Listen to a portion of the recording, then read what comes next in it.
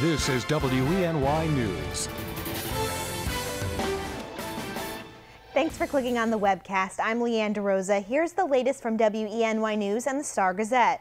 It looks like Tioga Downs may not have any competition after all as it applies for a casino license for the second time. As we reported last week, the Binghamton City Council announced its support of a casino at the Stow manufacturing site. But now, according to our media partner, the Star Gazette, the financer of that project, Jeffrey Hyman, announced over the weekend he will no longer send in his bid. Hyman told the New York State Gaming Commission his decision is due to uncertainty about a tax credit, which led his investors to pull their support. That makes Jeff Gural and Tioga Downs the only known bidder from the region. The deadline to apply for the license is this afternoon. We want to warn you of another phone scam that's sweeping the area. According to our media partner, the Star Gazette, Care First is warning residents of out-of-town hospice donation solicitations. The scam comes specifically from the Hospice Support Fund out of Virginia.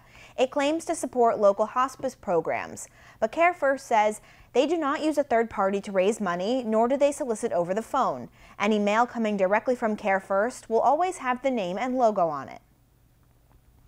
School has been out for a few weeks now, and if your children are starting to get bored, here's a suggestion. The Summer Parks program in Corning kicks off today. Kids can enjoy a variety of games, sports, crafts, and cultural events. There are also field trips, ice cream parties, nature hikes, and much more. The program overall promotes physical and mental well-being. The fun can be found at Denison Park, Stewart Park, Houghton Park, and the William Street Parks in Corning. Activities run Monday through Thursday, 10 a.m. to 3 p.m. from today through August 13th. Kids can come and go as they please, and it's all free of charge. And after about a month of being on the loose, escapee David Sweat is back in prison. Sweat was released from Albany Medical Center on Sunday and brought to Five Points Correctional Facility, a maximum security prison in Romulus, New York. The Department of Corrections and Community Supervision says Sweat will stay in the infirmary for the first 24 hours for medical evaluation. He will then be put in a single cell in a 23-hour confinement unit. Each cell has a bed, writing platform, toilet, sink, and facility-controlled shower, which will limit his movement. Sweat will also be placed on active suicide watch. Now here's meteorologist Craig Flint with today's forecast. Hey, Craig. Hey there, Leanne. Good morning to you. Good morning, everyone. Decent weekend. We had a little bit of rain Saturday morning and a couple of scattered showers in the afternoon that tended to pop up. But Sunday was a gorgeous day, and I think today, not bad. There may be a shower, thunder shower coming through at some point this afternoon associated with a weakening low pressure, but a high of 84, a little muggier today as well. So here's a look at first warning satellite and Doppler radar, and you can see the moisture down to the south here um, as this weakening area of low pressure starts to work its way to the north. So uh, even though it's filling in, I still can't rule out a scattered shower or thunder shower at some point this afternoon. But I think most of the day today, this afternoon, this evening, and tonight should be mainly dry. Then we get into Tuesday, and I think most of the time it will be dry. But you look to the west, here's our next front. That's going to come through here Tuesday late in the day. So I think here's how we play on Tuesday. We'll have hazy sunshine, warm, humid. We have an opportunity to reach for 90 in advance of the front that comes through. But as the front gets a little closer to us, there will be a few scattered showers and thunderstorms breaking out again later in the day Tuesday.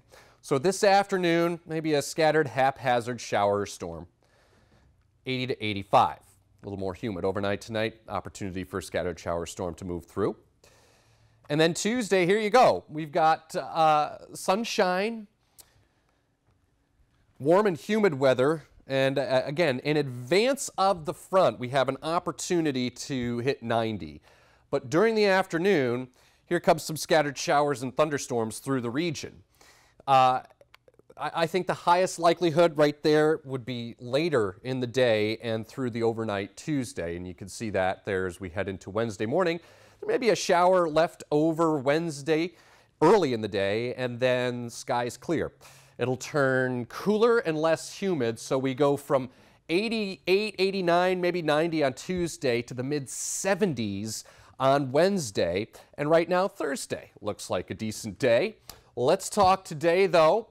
High of about 84 and skies should average partly cloudy. But again, late in the day, we have that opportunity for a shower or thunder shower.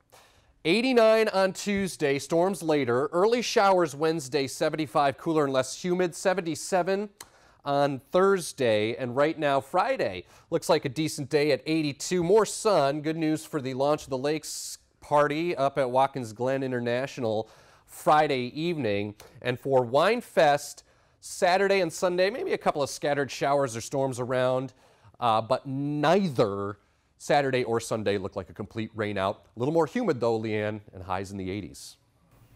You know humidity just means my hair is going to frizz. Frizz factor will be high. I'm never a fan, but it's okay.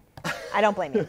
hey, you know what? A lot of people have been waiting for some summer weather. I know. so- I'm excited for the temperature to go up, but nothing will beat yesterday. Yeah, it was gorgeous. gorgeous. Thanks, Craig. For the latest news, weather, and sports, be sure to watch WENY News at noon, 5:30, 6, and 11. And don't forget to pick up a copy of today's Star Gazette. I'm Leanne DeRosa. Have a great day.